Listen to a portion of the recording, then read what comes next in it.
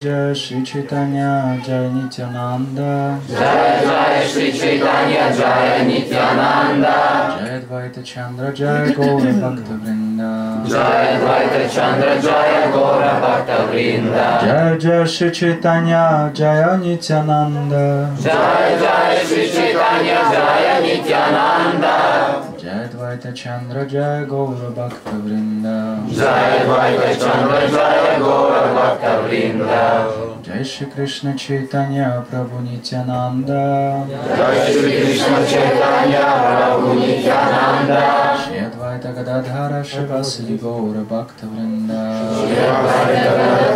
Shivasati Gaura Bhakta Vrinda Hare Krishna Hare Krishna Krishna Krishna Hare Hare Hare Krishna Hare Krishna Krishna Krishna Hare Hare Hare Rama Hare Rama Rama Rama Hare Hare Hare Rama Hare Rama Rama Rama Hare Hare Hare Krishna Hare Krishna Krishna Krishna Hare Hare हरे कृष्णा हरे कृष्णा कृष्णा कृष्णा हरे हरे हरे राम हरे राम राम राम हरे हरे हरे राम हरे राम राम राम हरे हरे हरे कृष्णा हरे कृष्णा कृष्ण कृष्णा हरे हरे हरे कृष्णा हरे कृष्णा कृष्णा कृष्णा हरे हरे हरे राम हरे राम राम राम हरे हरे हरे राम हरे Shri Krishna Chaitanya Mahaprabhu ki? Shri Nitai Gauranga ki? Shri Prabhupada ki? Nitai Gaur Premanande!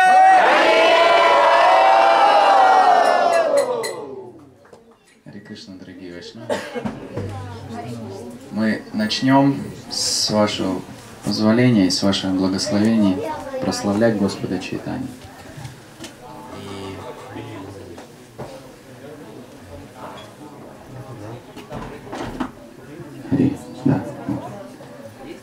Единственная просьба у меня, э, э, кто не готов слушать или хочет пообщаться, можно выйти наружу, чтобы не мешать теме. Потому что тема будет серьезная. И Гауропурни очень простой э, праздник для любого лектора, потому что очень легко э, всех вдохновить, просто можно сказать Шри Кришна Читания Махапрабху ки!» Видите, работает, то есть не облажаешься особо. В неудачный момент я крикну что-нибудь такое, все вдохновятся. Но тем не менее, этот праздник очень важен для нас. Я поздравляю вас с Новым годом для Гаудия Вайшнавов. А именно с этого дня, 530 лет назад, началась эра Гаурабда. Это наш Новый год. То есть у всех есть, у китайцев, у русских, у американцев, там у всех есть свой Новый год, вот у Вайшнавов тоже он есть. И он празднуется в день Гаура Пурнимы. Поэтому я желаю вам всем в новом году Кришна Пряма Бхакти.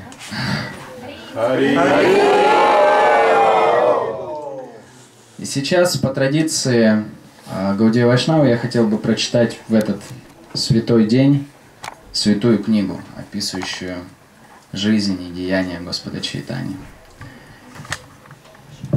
А мы прочитаем 13-14 стихи 8 главы Шри Чайтани Чаритамриты, которую написал Кришнадас Кавирадж Госвами. И тема, которую я выбрал для сегодняшнего обсуждения, она не будет очень сентиментальной, поэтому я попросил тех, кто не настроен внимательно, выйти. Потому что тема, которую мы будем обсуждать... И я хотел, я хотел что-нибудь рассказать такое сладенькое, знаете, залить медом, истории посыпать, э, чтобы все попытаться сделать так, чтобы все уревелись, и ничего не вышло. Я подумал, сколько можно, постоянно меня просят давать лекции, я какую-нибудь жесть говорю, и все сидят, загружаются. Тут я решил, все, хватит, надо вдохновить Вайшнава в такой праздник, светлый, солнечный, праздничный, золотой праздник. И решил, думаю, надо лекцию духовного учителя послушать. Обычно он э, любит нежности, рассказывает их с удовольствием. Я включил лекцию и понял, что, видимо, это моя карма. Всю лекцию Госвами Махарадж говорил о том, почему нам нужно понять милость Господа Чайтани и что нам нужно ее понять. То есть не просто принять ее, потому что мы не сможем принять то, что мы не понимаем. Да, есть такие вещи, которые невозможно просто принять, если ты не понимаешь, что это. Это просто происходит просто отторжение. Итак, 13, 14, 15 стихи 8 главы Шри Чайтани Чаритамриты. Вы готовы к работе? Готовы! И это не значит, что это будет сухо, неинтересно. Я постараюсь как-то наполнить этот процесс а, какими-то интересными моментами. Но мы должны, как и в целом, когда становимся на путь бхакти, мы должны быть настроены на работу, а не на развлечение. И развлечение оно будет, будет там, во Вриндаване с Кришной накручивать хвосты коровам. Все будет когда-то. Если мы до этого проведем предварительную глубокую работу над собой. И это долг человека. Проводить постоянную работу над своим внутренним миром. Если мы не делаем этого, то духовная практика, материальная практика, все теряет смысл. Атаева Пунах Кахонурдва Бахугана Читанья Нитянанда Баджа Кутарка Чадия. Поэтому, воздев руки, я снова обращаюсь к вам, говорит Кришнадас Кавирадж Госвами. Поэтому, воздев руки, я снова обращаюсь к вам. Дорогие мои люди, поклоняйтесь Шри Чайтани и Нитянанде, отложив в сторону бесполезные доводы. 14 стих. Логики говорят, не уяснив всего с помощью логики и аргументов, как можно решить, кому поклоняться. 15 стих. Шри Кришна Чайтанья да Карага Вичара, Вичара Карилея Читте Пабы Чаматкара. Если вы действительно привержены логике, то сделайте предметом ее рассмотрения милость Шри Чайтани Махапрабху. Тогда вы поймете, насколько она поразительна. Еще раз слушайтесь в этот текст. Если вы действительно привержены логике, вы привержены логике? Да. Да? Ну, нам нужно какое-то логическое объяснение. Большинство из нас не оказалось бы в Искон или в обществе Гаудия Вайшнавов, если бы здесь не было логики. Да, то есть нам хватало христианства, где мало логики.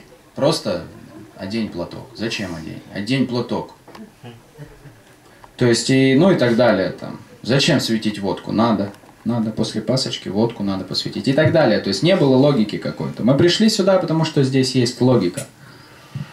И здесь э, Кришнадас Кавирадж Госвами говорит, пользуйтесь логикой для того, чтобы понять милость Шри Читани Махапрабху. Комментарий Шила Прабхупады, Шила Прабхупады Ки По этому поводу Шри Бхактисиданта Сарасвати Такур пишет в своем комментарии, чтобы обычные люди, имея очень ограниченное представление о жизни, изобретают разного рода гуманитарную деятельность, однако та деятельность на благо человека, начало которой положил Шри Чайтани Махапрабху, отличается от любой другой. Приверженцы логики, признающие только то, что можно обосновать логически, уверены в том, что без веских доказательств в том, что без веских доказательств признать абсолютную истину невозможно. К сожалению, когда такие люди встают на этот путь, не получив милости Шри Чайтани Махапрабху, они так и остаются на уровне логических доводов, не продвигаясь в духовной жизни. Однако, если у человека хватает разума применить логику для того, чтобы глубоко понять духовное начало, лежащее в основе всего сущего, но он поймет, что скудные знания, добытые благодаря материальной логике, не, мо- не помогут ему постичь абсолютную истину – которая пребывает за пределами досягаемости несовершенных органов чувств. Поэтому в Махабарате говорится о Чинтях Калу и Бхавана, там Старкена, Йоджиет, Махабарата Бишма Парва 5.22. Как можно с помощью одной только логики приблизиться к пониманию того, что находится за пределами воображения или эмпирического, эмпирических рассуждений обитателей этого мира? Логические доводы не обладают духовной силой и совершенно недостаточно – их совершенно недостаточно для обретения духовного понимания. Полагаясь на обычную логику, человек часто приходит к ложным выводам от, относительно абсолютной истины. А может и может привести, прийти а, к падению и новому рождению, например, в теле шакала. Целый огромный абзац. Первый абзац Шила описывает, что логика не все. Да? Заметили, да? Вы поняли мысль, которая идет? Он говорит, что да, логика важна. И буквально одна фраза. И дальше он говорит, что логика, ну, вообще не важна. Но дальше следующий абзац. Но, несмотря на это, Шилапрабхупада Ки Можно только приветствовать желание тех, кто искренне стремится с помощью логики разобраться в философии Шри Махапрабху. То есть есть важный компонент.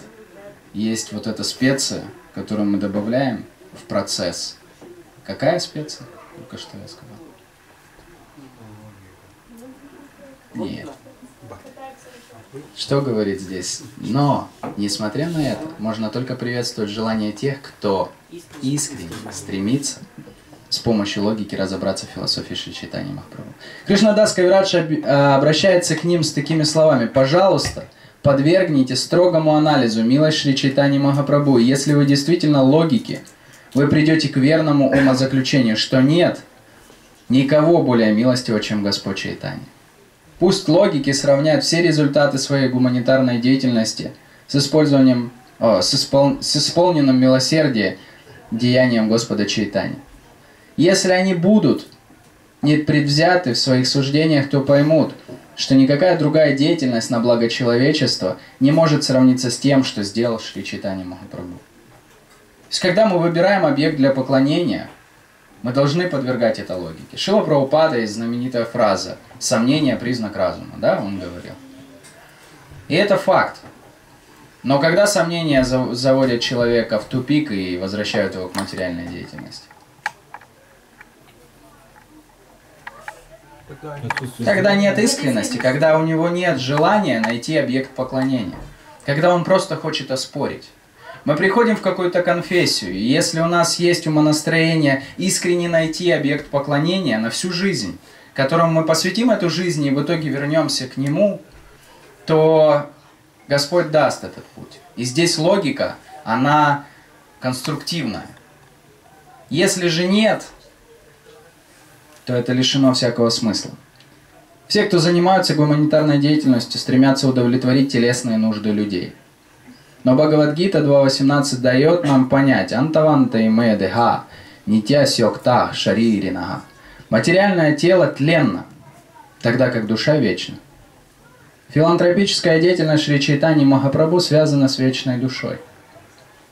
Сколько бы мы ни старались для пользы тела, оно все равно будет уничтожено, и нам придется получить другое тело, заслуженное нами в этой жизни. И сверху говорится о таких логиках. То, что было перечислено в первом абзаце, речь шла о ком? О каком типе логиков? Которые пытаются оправдать свое поведение в материальном мире. Они не хотят найти объект поклонения, их задача другая. Они хотят объяснить, почему они занимаются тем, чем занимаются, почему они наслаждаются миром. Материалисты. Да, потому что они материалисты, их желание наслаждаться, и их логика приводит к чему? Здесь говорится, что такие люди все равно родятся снова. И тут говорится, кем они родятся? Шакалами. Хари Кришна. Мы-то что радуемся? Если мы будем так мыслить, тоже шакалами родимся, к сожалению. Вайшнавами шакалами. Да, и, да, вайшнавами шакалами мы еще к этому вернемся. Сколько бы мы ни старались для пользы тела, оно все равно будет уничтожено, и нам придется получить другое тело, заслуженное нами в этой жизни. Поэтому человек, не понимающий науки переселения души и заботящийся только о теле, не очень разумный человек.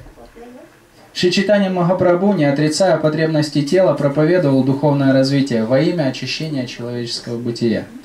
Поэтому если логик будет рассуждать предвзято, непредвзято, то он обязательно поймет – да, вот этот момент. Если логик будет рассуждать непредвзято, то он обязательно поймет, что Шри Чайтанья Махапрабху есть Мага Ваданьяя Аватар. Самое милостивое воплощение. Как звучит пранама Господу читания? Ее все знают. Да? Намо Махаваданя, Кришна Према Прадайте, Кришна Кришна Читания, Вирал Кришна И у него есть три качества Махапрабху. Адбута Карунья, Адбута Ваданьяя и Адбута Удария. Есть три качества Господа Чайтани, которые отличают его от всех аватар, которые мы знаем. Адбута, кто знает, что такое Адбута? А? Адбута. Адбута значит удивительно. Непросто. Этот э, приставка адбута к каждому из качеств, которая практически все означают одно и то же. Адбута ваданья, адбута удария и адбута коруния примерно значит одно и то, и то же. Э, милость. Но каждый, каждый из них имеет определенный оттенок. Адбута значит он удивительно щедрый. Адбута удария. Удивительно щедрый. Адбута коруния. Удивительно милостивый. И адбута ваданьяя. Ну, примерно то же самое. Адбута значит не просто, знаете, просто добрый человек. Он невероятно добрый человек. И Господь Чайтанья был удивительно милостивый хватало на тот момент. Вы думаете, Адвайта Ачарья не был милостивым? Или у него не хватало шакти? Всего хватало. Но у него не было вот этих качеств. Адбута. Поэтому он стал молиться Кришне. Поэтому он призвал Кришну сюда, чтобы он пришел и просто снес невежество. На тот момент невежество, покров невежества на людях был настолько сильный и был подкреплен гьяной. На то время Навадвипа представляла центр учености из себя. И э, дурака обратить в веру очень легко. Глупого человека, простого, какого-то деревенского, это несложно. Но у человека, у которого внутри есть четкая, очень сформулированная логическая система, почему он наслаждается материей, сбить с толку очень сложно. Точнее, вернуть его на правильный путь сбить с Тамагунского этого толку. Поэтому, если логик будет рассуждать непредвзято, то он обязательно поймет, что Шри Читани Махапрабху есть Мага, Ваданьяя, Аватара, самое милостивое воплощение Бога. Он даже более милостив, чем сам Господь Кришна. Господь Кришна требовал полного подчинения себе. Да? Где он требует? Он говорил, говорил, говорил, говорил Арджуне, много всего говорил, потом говорит, короче, все, надоело. Сарват Гарман, Паритяджа, Мамакам Шаранам Раджа. Он говорит, Сарват Гарман, вообще все брось. И мам экам. Вот эта фразочка прям Кришну описывает в полной мере. Почему нам сегодня, по крайней мере, не интересен Кришна? Сегодня мы будем прославлять Господа Читания, потому что Господь Читания никогда не говорил мам экам. Он не говорил мне предайся. Он говорил, ему предайся. И это позиция преданного. Он говорил, предайся Вайшнавам, предайся Нитянанде, предайся Адвайте, предайся Гададхаре. Всем предайся. Мне не надо, не обязательно вообще. Вот им предайся. Предайся Кришне. Но Кришна говорит, Сарват Гарман. Сам Господь, Господь Кришна требовал полного подчинения себе, но Он не раздавал любовь к Богу с той же щедростью, что Шри Читания Махапрабху. Поэтому Шрила Рупа Госвами выражает почтение Господу Чайтани так. Намо Махава Даньяя, Кришна Према Прадаяте, Кришна Кришна Чайтанья, нам на город Вишена Маха. Господь Кришна только даровал миру Бхагавадгиту, которая позволяет постичь Господа Кришну таким, какой Он есть. Но Шри Чайтанья Махапрабху, который не отличен от самого Господа Кришны, дал всем людям любовь к Кришне, не делая никаких различий. Шри Чайтанья Чаритамрита ки джай. Кришнадас Кавирадж Госвами ки Итак, а, план действий, план нашей работы, философской работы на ближайший час таков. Для начала мы разберемся, к чему призывает наш, нас Кришнадас Кавирадж Госвами. И он говорит, воздев руки, пожалуйста, поклоняйтесь. И он говорит, не просто поклоняйтесь, подвергните логическому анализу милость Господа читания. Не самого Господа читания, невозможно его логически понять. И более того, я вам скажу, Махапрабху даже не ставил такой цели перед собой. Объяснить кому-то, что он делает. Он пришел и пел просто. Он просто брал мридангу, брал вайшнавов, выходил на улицы, пел и собирал всех. И ему это не надо было.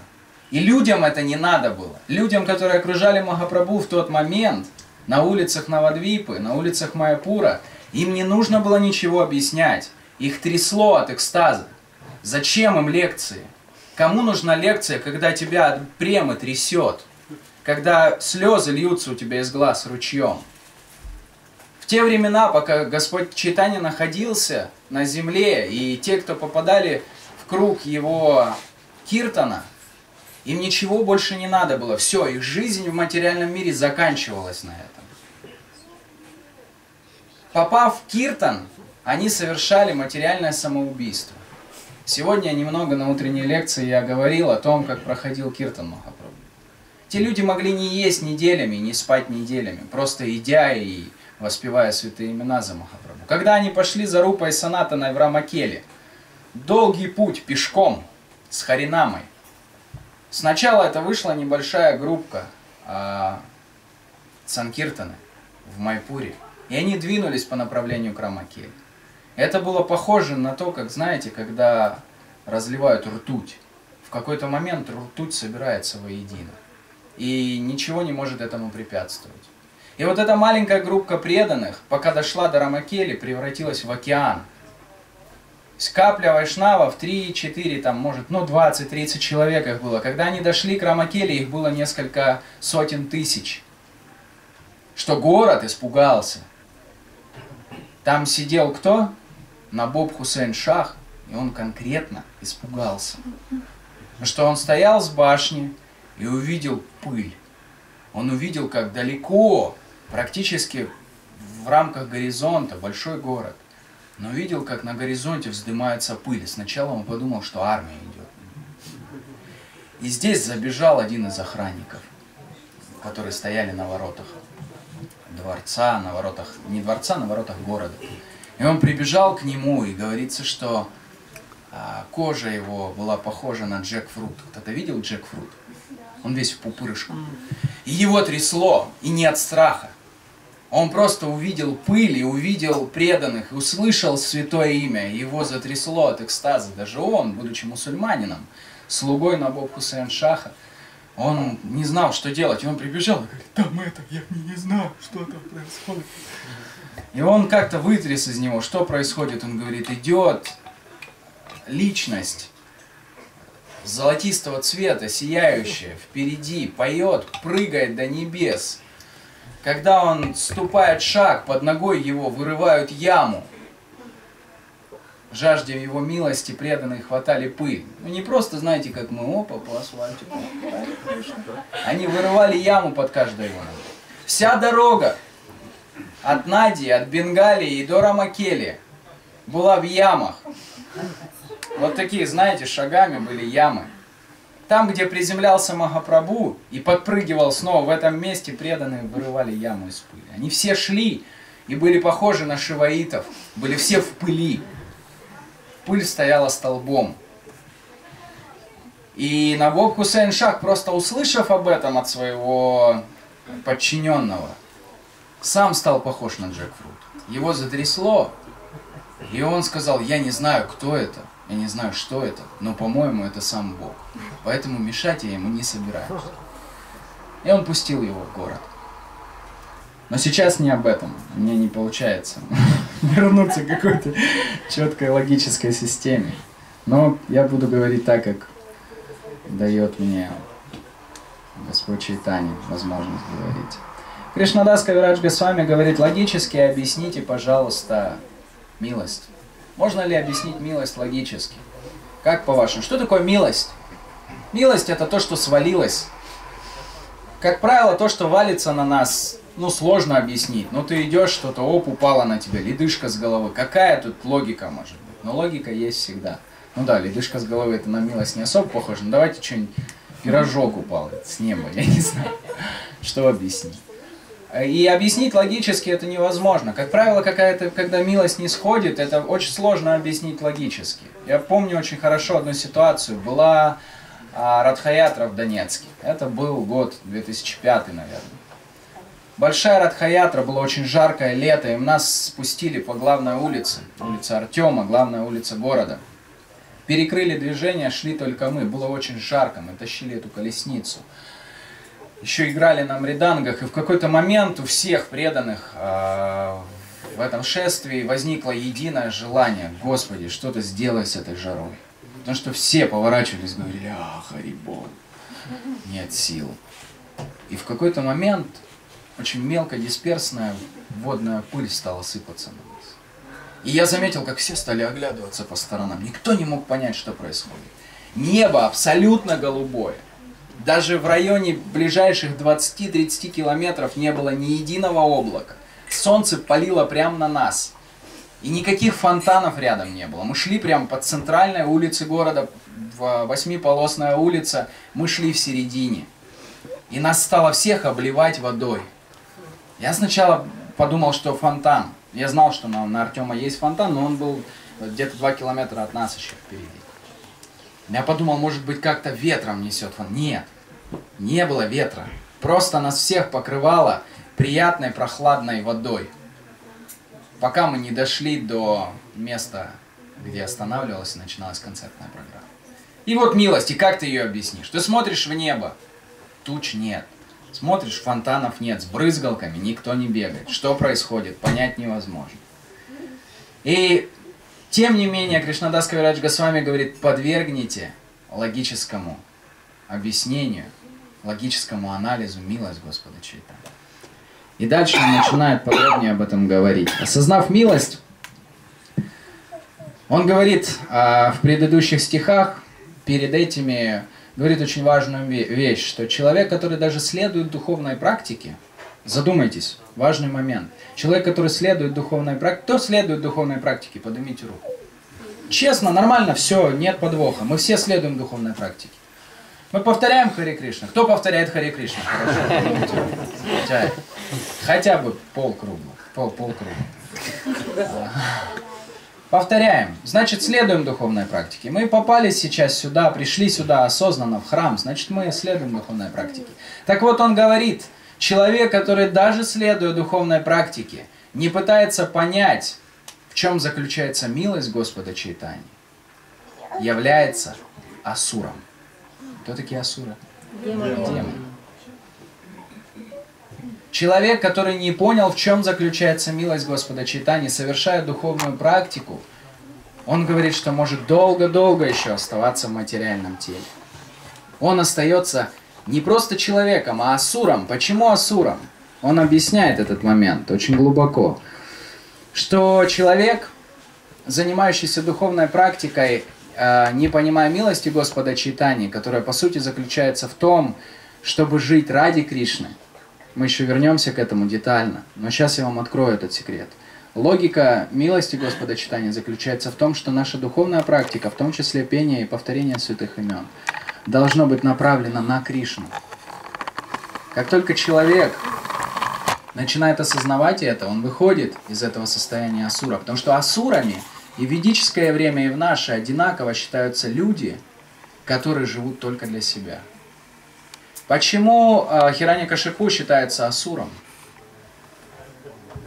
И почему Прохлад Махарадж не считается асуром? Они из одной семьи. Более того, они отец и сын. Связь очень тесная. Но один асур в своем сознании, асур или демон, а другой нет. Потому что Прохлад Махараджа интересовало только удовлетворение Кришны. А Хиранья Кашипу, при том, что даже поклонялся шилограмм шилом, вишну шилом, он проводил арати каждое утро. Кто проводит арати каждое утро? Поднимите руку. Хари Кришна. А он проводил. И мантры он повторял. И шастры знал. И шастры знал в идеале. Мы так никогда не будем знать шастры. А он знал их. И он оставался асуром. Потому что целью его практики было самоудовлетворение –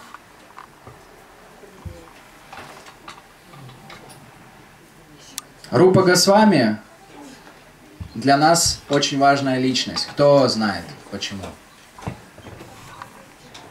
Потому что? М? Да потому что, Джагадиш. по сути, как Господь Читание сам ничего не оставил после себя, но он попросил Шивар Богосвами все это объяснить. Да, Научить. то, с чего я начал. Махапрабху просто пришел, пел и заражал всех према бхакти. Он вышел на улицы и стал заражать людей. Он не раздавал, он заражал. Знаете, в чем разница? Потому что когда раздают, ты хочешь возьмешь, не захочешь не возьмешь. Махапрабху не спрашивал. Он просто подхват- под- подбегал, хватал человека, обнимал его. Он даже не видел, кто это. Он не знакомился с ним, не говорил, Хари Кришна Прабу, как вас зовут? Из какой вы готры? Из какой деревни? Да наплевать. Он обнял его и крикнул ему в ухо. Харибол! Пошел дальше, тот упал, трясется, все, прямо бхакти, готово. Он заражал людей. Он ходил по улицам Навадвипа и просто заражал толпами людей, деревнями. Заражал. Бхакти, да. Но, что произошло, когда ушел Махапрабху? Эффект перестал работать. Да. Это работало только в рамках Господа Чайтани. И почему Рупа Госвами является самстапака Ачарием, самстапака Ачари Гаудия, Брама Мадава Гаудия Вайшнава Сампрадая? Потому что именно он объяснил, как продолжить, как удержать это состояние милости Господа Чайтани. Что милость, она была, пока Махапрабху был здесь. И он ничего не утруждал себя объяснениями. Он просто пел, давал, э, шел на новое место, снова пел, снова давал бхакти, шел дальше. А Рупа Госвами сидел и записывал. Что же он дает? Он детализировал, он объяснял, как нам, оказавшись снова в этой внешней миссии Господа Читания, где мы собрались все вместе и стали петь Харе Кришна, Харе Кришна, Кришна, Кришна, Харе Харе, Харе нам трястись от экстаза в этот момент. Не просто вот так ша- шактичненько погромче крикнуть. Это мы можем, да? Давайте попробуем еще громче.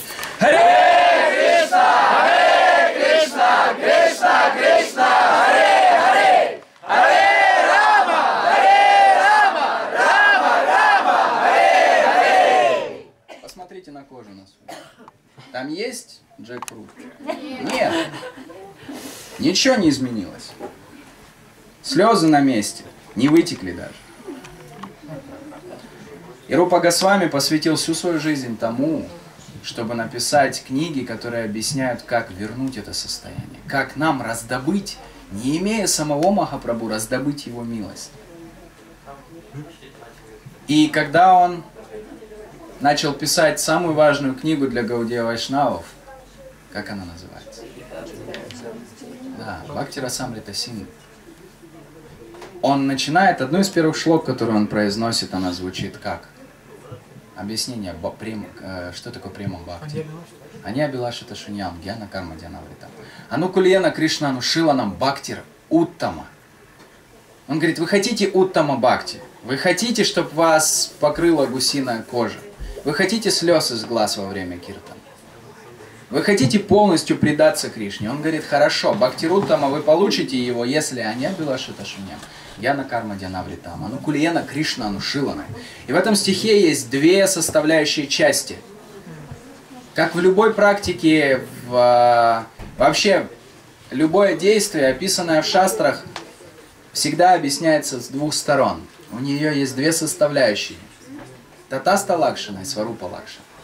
Что такое तटस्थ लक्षण? Внешняя причина. У любой аватары, к примеру, как и у самого Махапрабху, была तटस्थ लक्षण, его явление, и была स्वरूप लक्षण. Внешняя и внутренняя причина.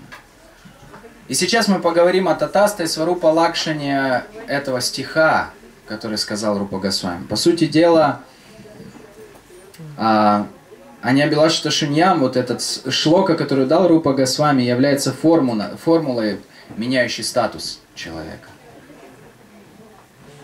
Статус, понимаете, да, о чем?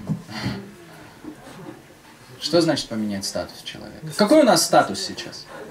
Ну, кроме контактов, вы еще какой-нибудь статус знаете? Какой у нас статус? Нити Бандха. Вот правильно сказал Гирирадж. Что такое Нити Бандха? Вечно обусловлено. Вечно обусловлено. Что значит вечно обусловлено? Значит, человек пойманный в капкан кармы. Мы попались в какой-то момент в капкан кармы. И что это значит? Причинно-следственные связи. Что бы я ни делал, я за это либо выгребаю, либо получаю. Либо хорошее, либо плохое. И эта деятельность, любая, которую мы делаем, не осознавая высшей цели, то есть не ставя своей высшей целью удовлетворить Кришну, любая деятельность влечет карму. Понимаете, да? И Рупа Госвами, он говорит, что вайшнав, который поймет суть а, милости Господа Чайтани через эту шлоку, а не Абилашита Шуньям, он меняет свой статус. То есть, находясь здесь, в материальном мире, в этом же теле, совершая ту же самую внешнюю деятельность, мы живем в другом мире и являемся совсем другой личностью. То есть карма перестает влиять. За нами не тянется вереница последствий. Астрологи, которые берутся составлять гороскоп чистому преданному на свою голову, они ничего понять не могут. То есть они говорят, вот с ним произойдет это, это, это, это, а с ним не происходит. Или происходит вот совсем другое, вот это, вот это, вот это. Потому что в этот момент Кришна вмешивается. Вот мы всех говорим Кришна карма, Кришна карма, Кришна карма. Является ли Кришна карма атрибутом асуров? Нет. Почему? Там Кришне не интересен человек. Тот, кто в Кали-югу, придя даже в общество преданных, не понял, что значит милость Господа Чайтани, что значит Аня Белашита Шиньям, Яна Карма Дианавритам, Ану Кульена Кришна Анушиланам. Кто не понял этих вещей, сейчас мы их детально разберем, тот продолжает быть асуром и тянет за собой огромный багаж кармы. Огромным. Нам даже страшно, даже лучше не пытаться представлять это. Я думаю, 10 тысяч слонов не увезли бы, если бы это все разложить в ящики. Это очень длинная вереница проблемы. Представьте, то есть возможно ли, э, ну, к примеру, вы видели когда-нибудь, чтобы человек на КАМАЗе разъезжал по торговому центру? Нет. Ну, потому что это неестественно, он не влезет там. И так же самый человек, который не отказался от своей кармы ради Кришны, не отказался от своего счастья ради счастья Кришны, он из себя представляет слона в посудной лавке, который пытается залезть в бхакти, начать этот процесс духовной жизни, но не может, что он просто не умещается там. Вайшнав, который оказывается в обществе других вайшнавов, которые искренне славят Кришну, но при этом сам не обладающий чистотой и искренностью необходимой. Он как этот слон в посудной лавке. Он только беспокойство причиняет окружающим. И сам не может погрузиться. Да?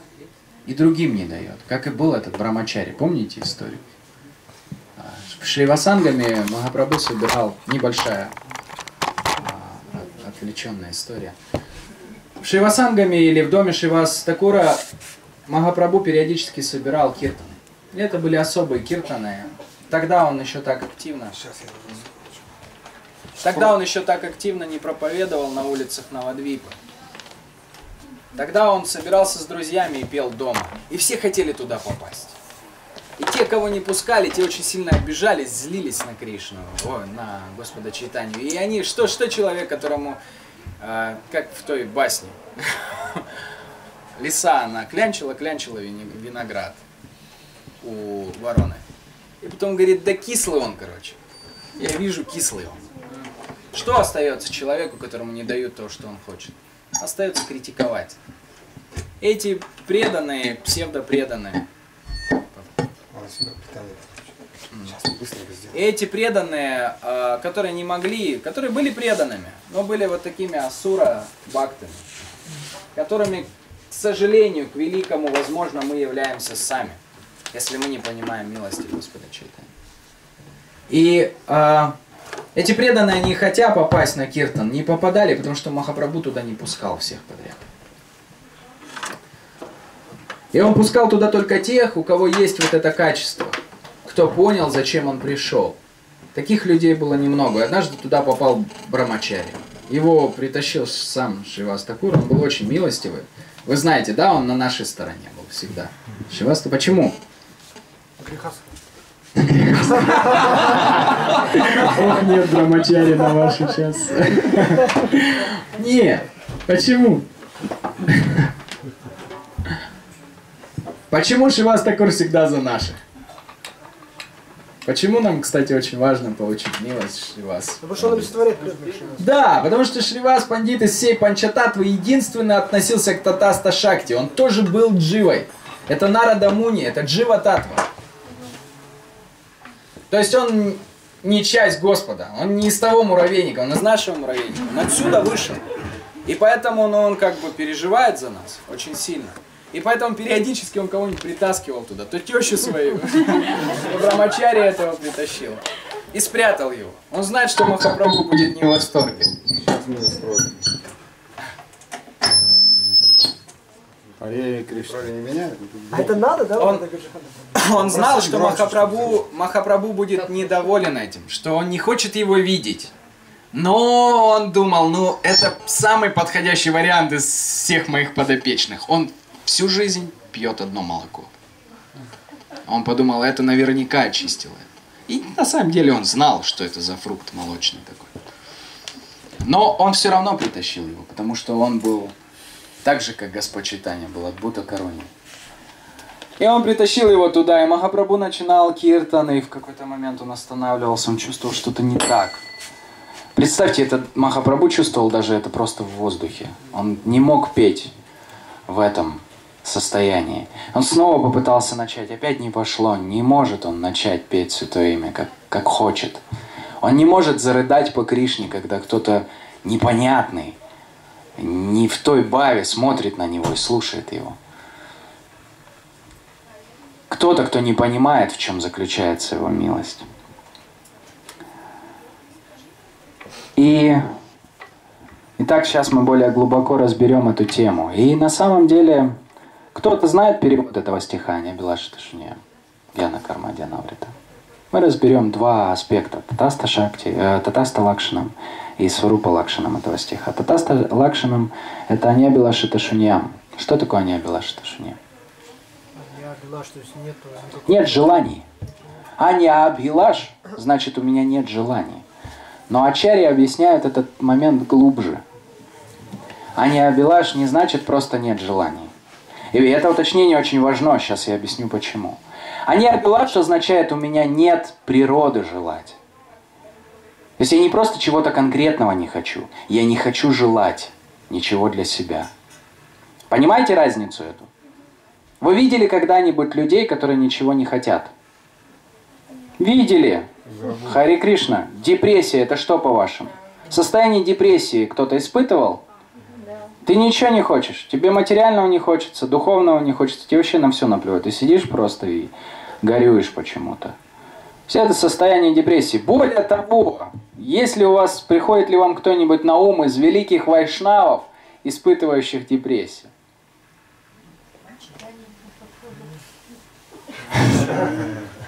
Ну, там была похожая эмоция, но это была а, скука по Кришне, к сожалению.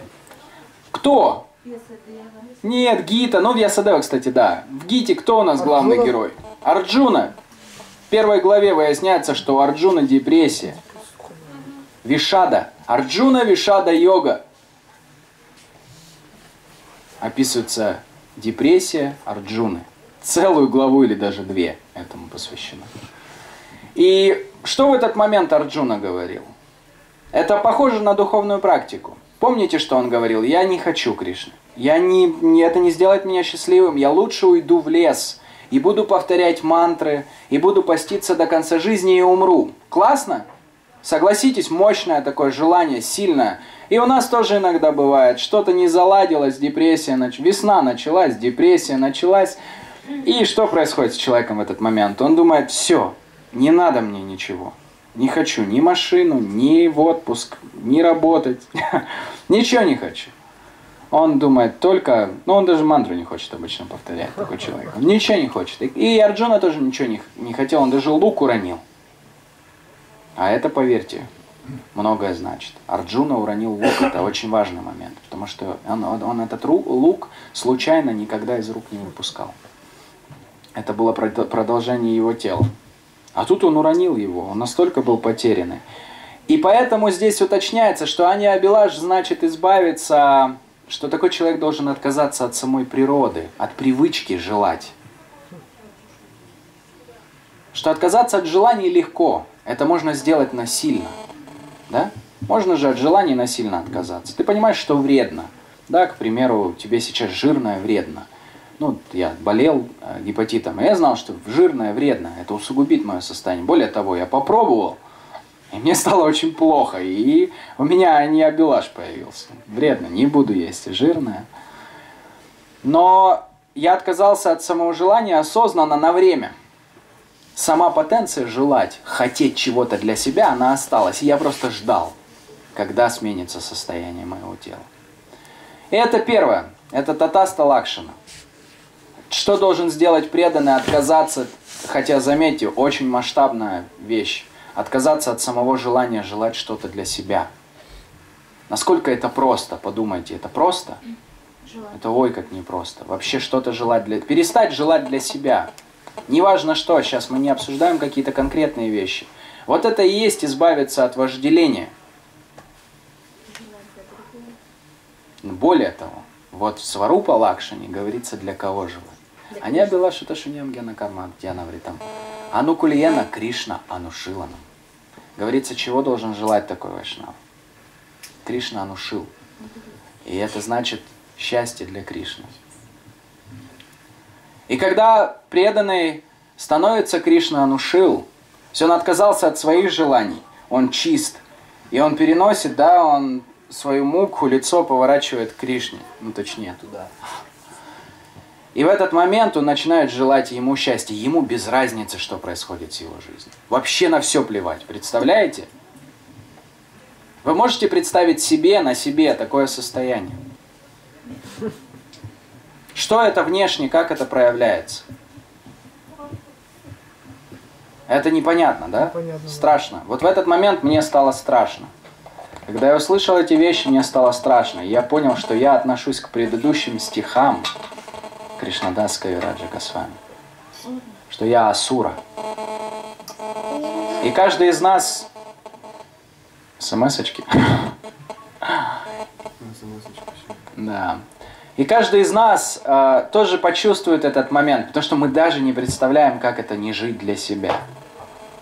И более того, я вам скажу, может, мать может представить, что такое не жить для себя, жить для ребенка. Но это все равно, может быть, можно выключить. Выключи, Вам так меня хорошо слышно? Не, вот там вообще не слышно. Я поэтому туда и поставил. Давай вот тот поставим сюда. Лучше, да, тот поставим. Давайте. Процесс непростой, чувствуете, да? Процесс осознания Кришны – и милости Господа читания он непростой даже сейчас. Ладно, сделаем. Кали явно против, чтобы мы обсуждали эти темы.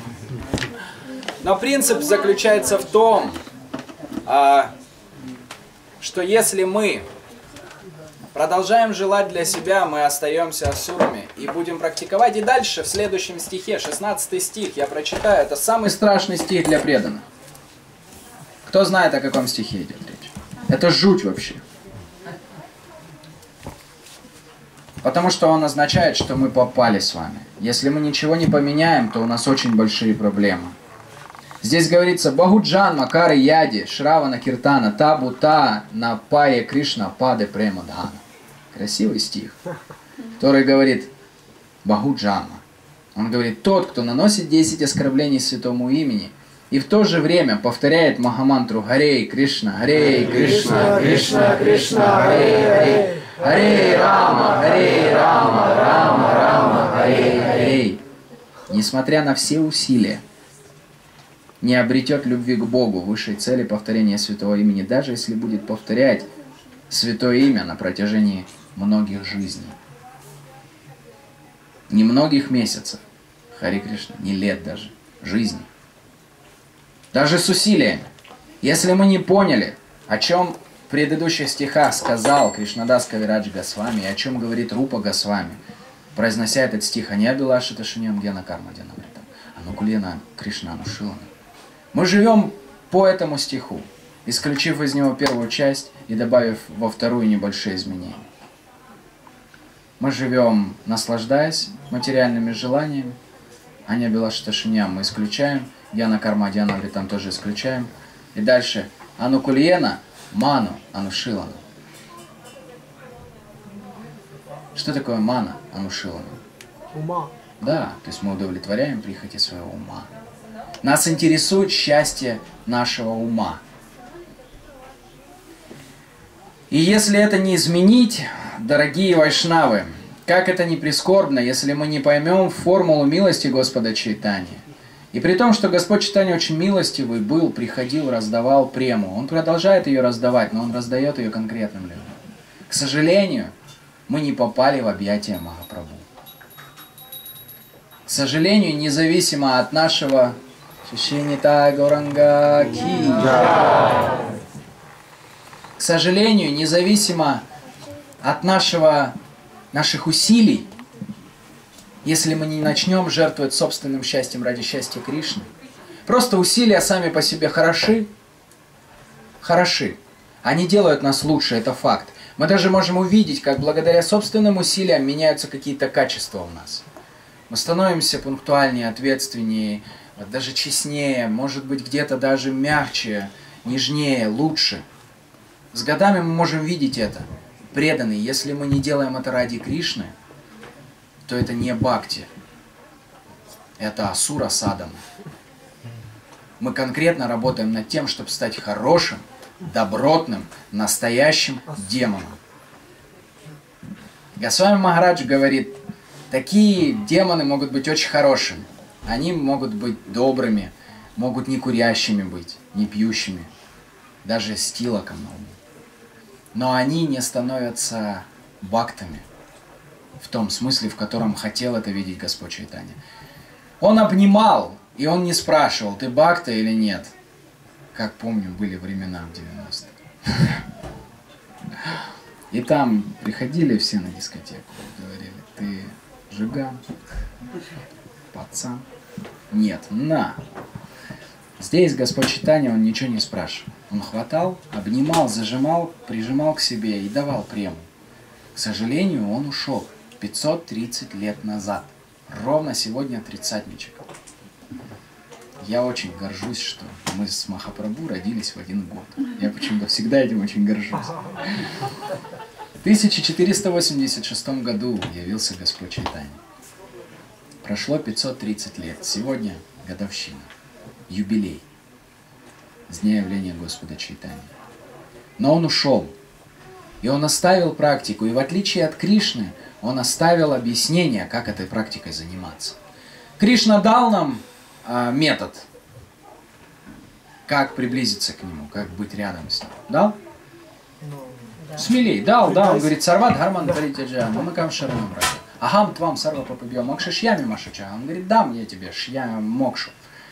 Но он говорит, что для этого нужно? Он говорит, сарват, гарман, паридяджам, ничего не объясняет. Он говорит, просто оставь все виды религии, просто предайся мне. И даже Арджуна, но Арджуна был поумнее нас, и он прослушал всю гиту очень внимательно, потому, ну, поэтому он понял, что нужно делать.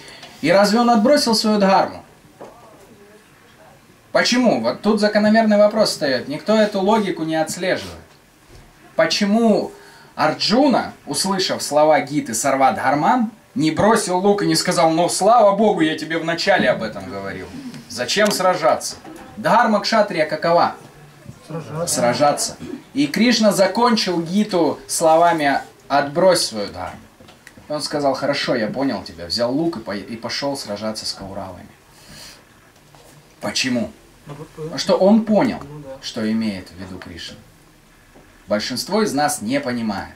Мы воспринимаем это как какой-то механический процесс. Сейчас я от всего откажусь. От родных, от близких откажусь. От квартиры откажусь. От чего еще Кришна это отказывается? Паспорт там выкидывали. Паспорт выкидывают в Радакунду. Было такое. Не шутки, преданные. Реально никто не шутит. Я сам знаю преданного, который выкинул паспорт. Ревел, потом сидел над этой Радакундой. Не знал, что делать. У меня билеты горят, что делать, я не знаю.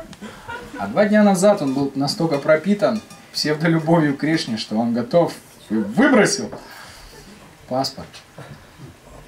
Но Арджуна ничего не стал менять внешне. Он взял лук и сражался до последнего. И более того, он делал это так, как того хочет Кришна. Он стал обманщиком. Все они, Пандавы и даже Юдиштира, стал обманщиком для Кришны. Юдиштира, который, представьте, на тот момент Юдиштире уже было, дай бог, лет. Юдиштира был старым достаточно. Он был уже взрослым мужчиной, у которого были уже внуки. И он все эти годы ни разу не врал. В этом было могущество Юдиштира. Говорится, что когда он находился на поле битвы Курукшетра, его колесница летала над землей. Она не касалась земли из-за его благочестия. Это Дхармарадж. Это сам Бог праведности. Это кто был? Ям. Ямарадж, да. То есть он был сыном Яма. Он никогда не врал. Он соврал первый раз на Курукшетре, и то не до конца. И то он не мог переступить через это. Когда ему сказал Кришна, скажи, что Ашватхама мертв, иначе Драначари всех нас перебьет. Он всех вас убьет, у него хватит силы. Ты должен соврать, что его сын Ашватхама мертв. Он говорит, я не могу. Он говорит, хорошо, Бима тебе поможет. Бима, убей слона Ашватхама. Бима убил слона по имени Ашватхама. Он говорит, хорошо. Ты просто крикни. Дрона, Ашватхама мертв. И он крикнул этой колеснице, рухнула на землю. Колесница, которая летала всю жизнь, опустилась на землю. И они врали для Кришны. Они делали для Кришны все. И это значит, что? Кришна Анушила. Об этом говорит Рупа Госвами, когда он говорит, если мы и вы, люди Кали-юги, хотите продолжать еще 10 тысяч лет обниматься с Господом Чайтани и реветь в экстазе от киртанов, в экстазе, не от чего другого. Мы иногда ревем на киртан. Это целая тема для отдельной лекции. Оставаясь асуром, мы так иногда ревем на киртане. Это не то. Это не будем сейчас отвлекаться, очень обширная тема. Целая отдельная Рупа Госвами посвящает ей целую главу. А, здесь говорит Рупа Госвами, если вы хотите, пожалуйста, вслушайтесь внимательно. Не Абилашита Шуням, откажитесь желать для себя. И Анукулена Кришна внушила нам. Начните желать счастья Кришны, независимо от чего в этом мире. И тогда Кришна начинает защищать. Вот тогда Кришна начинает вмешиваться в нашу жизнь, и тогда карма отпадает – то, о чем говорит Кришнадас Кавирадж Госвами в предыдущих стихах, он говорит, такой преданный, понявший милость Господа Чайтани, он теряет карму. Даже про Рабду, вообще всю. Ничего на него не влияет, больше кроме Кришны. Есть одна забавная история из Махабараты. Хорошо, сейчас немного от философской темы вас отведу. Ее вряд ли вообще кто-то слышал. Я ее услышал первый раз. И она замечательная абсолютно. Она описывает таких преданных. В какой-то момент, э, примерно на восьмой день битвы на, на Курукшетре, э, Дурьодана пришел к Бишме. И он пришел к Бишме и сказал, я не пойму, дед. Точнее, я пойму, я понимаю, на чьей ты стороне теперь. Прошло восемь дней сражения, а ты не сражаешься даже на десятую часть своей силы. И я, и все военачальники, и все воины в нашем войске знают, что ты можешь убить их всех за один день. Для тебя это не проблема. Вообще вся вселенная знала, кто такой Бишма. Для Бишма это была не проблема. Он мог убить всех пандавов и все их войско за один день. А уже шел восьмой день. И он задел его, поддел Бишму. И Бишма сказал, хорошо, завтра я убью всех пандавов. Я разгромлю их войско, и война закончится. И более того, он выложил пять стрел. Пять стрел для пятерых пандавов. Он знал, какую, какой, а, какой какого пандава он убьет. И это вечером произошло, и Кришне донесли об этом. У Кришны везде были шпиончики, и он узнал об этом. И он прибежал к, а, к пандавам. Они были в своем шатре, раздевались, был уже вечер, там около 11 вечера, они раздевались, готовились отойти ко сну, набраться сил, чтобы завтра снова сражаться, и Кришна забежал и сказал им, я узнал, что Бижма завтра всех вас убьет. И как вы думаете, что сделали пандавы? А? Они сказали, Кришна, ну, как бы... Они сказали, ну что? Ну, да. И он сказал, в смысле, ну что? что-то надо делать. Они говорят, Кришна, ты извини нас, конечно, но мы уже делаем все, что в наших силах. Мы выкладываемся на полную. Ты же видишь, мы не халтурим. Мы выходим на поле битвы и выкладываемся до последнего пота, до последней крови. Все остальное, извини, Кришна, твоя забота. Он пришел и говорит, давайте решим проблему. Они говорят, Хари Кришна, это твои проблемы. И Кришна пошел не- немного в замешательстве, зашел в свой шатер, стал думать, что ему делать с этим. И придумал. Всю ночь он думал. Утром, рано-рано утром, еще до Брама Мухурты, Кришна тайком пробрался в шалаш, в шатер Драупади. Он разбудил Драупади. Он говорит, вставай, вставай, омывайся, одевайся, выходи, я жду тебя снаружи. Драупади не стала спорить, спрашивать что-то. Она уже, у нее был уже опыт к тому моменту полного предания Кришне. Она находилась на этом уровне, как и пандавы. Чувствуете, да, пандавы услышали, что их завтра убьют. И им было наплевать, потому что если ты, Кришна, хочешь, чтобы мы победили, ты что-нибудь придумаешь. Мы и так все делаем. И тогда Драупади вышла из шалаша.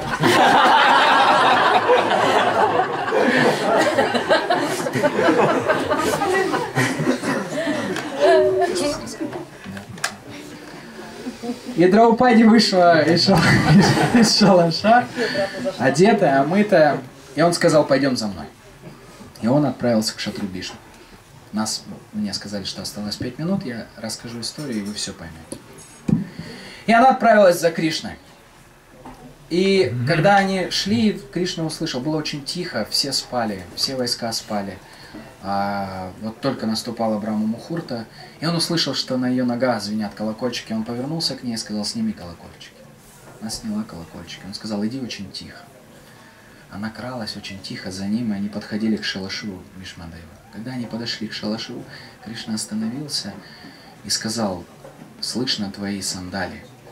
Он сказал, их надо снять. И Кришна опустился и снял сандали с Драупади.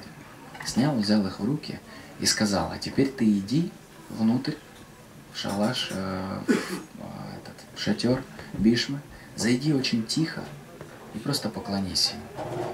Ничего не говори. И Драупади так и сделала, покорная Кришне, она зашла очень аккуратно, тихо.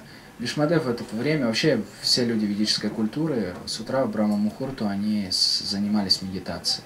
Они садились, какое-то время в безмолвной медитации они осознавали, кто они, что они, для чего они рождены. Была медитация самосознания. И она увидела, как сидит Бишмадев, она тихонько поклонилась ему, хотя на ней не было тапок, он не услышал, как она зашла. Но когда она покл... Но тут момент, понимаешь, тихо. Да, и Драупади зашла и очень тихо поклонилась ему. Но тем не менее, Бишмадев услышал шелест сари. И не выходя из медитации, он поднял руку и произнес Аширват, дал благословение. И он сказал Саубагивати. Саубагивати означает... Он услышал, что это женщина, он услышал шелест сари и понял, что это какая-то женщина. И он сказал Саубагивати. И Саубагивати означает, а, буквально означает счастье тебе, женщина. Но конкрет, конкретно для женщины это переводится как «я желаю, чтобы твой муж никогда не умирал». Чтобы твой муж всегда заботился и был рядом с тобой. Это самое лучшее благословение, которое могла получить женщина ведической культуре. И он поднял руку, сказал «Саубагивати». Драупади поднялась. И он открыл глаза и увидел, что Драупади. Он понял, кому он дал благословение. И он сказал, ты не могла сама это придумать. Я не верю, что ты сама это придумала. И он сказал, по-любому где-то здесь Кришна замешан. И он встал, а Драупади сказала, ну спасибо. Ну а что она сделала? Зашла, поклонилась и получила благословение от деда Бишма, который сказал, пусть твои, твой муж, точнее пять мужей, останутся всегда рядом с тобой, всегда будут живы. И они вышли из шатра, и Бишмадев стал искать глазами Кришну. И он увидел, как в кустах стоит Кришна. На устах его была улыбка, а в руках тапочки Драупади. И это Кришна внушила нам Вайшнавы. То, что мы должны понять в словах Кришны, когда он говорит «Сарвадхарман паритяджама макам шаранам браджа», означает буквально «Аня билашата шуньям гьяна карма анагдита а, гьяна карма дьянавритам». Избавьтесь от желания желать. Это первое, внешнее. И второе, поставьте, сделаем, сделайте своим желанием единственным в жизни желать счастья Кришны. Вот тогда милость Господа Чайтани со всем набором эмоций, она придет в нашу духовную практику. Шри Кришна Чайтани Махапрабху Ки. Шри Гор Пурним Ки. Прабхупада Ки. Ай Гор Премананде. Спасибо большое. Я надеюсь, это как-то повлияет на нас. И не выпускайте, пожалуйста, из своего сознания эту мысль. Она неприятная, не очень комфортная, но она очень важна для нас. Так же, как Бхагаватам, который имеет 12 песней, и одна песня посвящена описанию адских планет, на которые вайшнавы, вайшнавы априори не попадут. Зачем? Так и здесь Кришнадас Госвами, а, Кришнадас Кавирадж Госвами говорит одну мысль, которая пугает вайшнавов, но она нужна для того, чтобы мы стали думать над милостью Господа Чайтани. Он говорит, что мы останемся асурами, пока не перестанем желать что-то для себя. И он говорит, что пока мы будем продолжать оскорблять Святое Имя и не понимать милости Господа Читания, мы можем жизнь за жизнью повторять Святые Имена. Это два момента, которые можно сутрировать от из этой лекции. Что мы должны научиться желать только счастья Кришны. И деятельность, которую мы делаем для Кришны, должна быть лишена оскорбительного настроения. Одно из другого выходит, но это очень важно. Харе Кришна. Вопросы? Возьмем.